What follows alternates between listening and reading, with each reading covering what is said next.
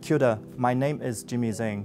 I'm a senior lecturer at the Department of Preventive and Social Medicine. I'm also the course convener for HASC 413.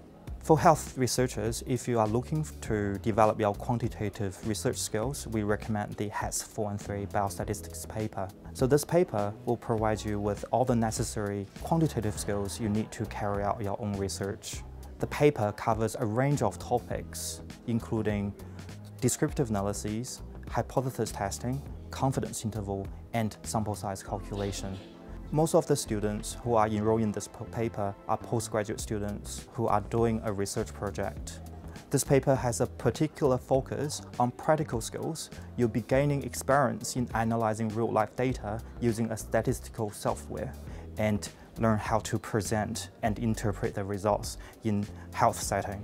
After completion of this course, you'll be able to carry out your own simple statistical analysis, but also have a better understanding of scientific journal articles.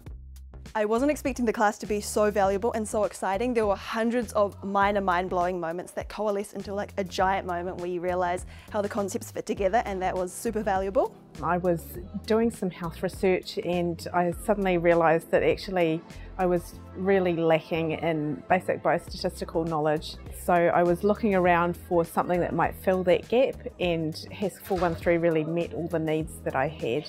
So it's completely changed the way I think about research problems from the way I read papers and the way I write and the way I critically appraise them. I would say it's essential for anyone who is thinking about doing a master's or PhD project to um, get out there and learn a wee bit more. If in doubt, take it. It's been the most valuable paper I've taken at Otago.